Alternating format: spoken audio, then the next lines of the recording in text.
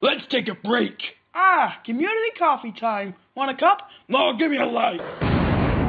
He's smoking more now and enjoying it less.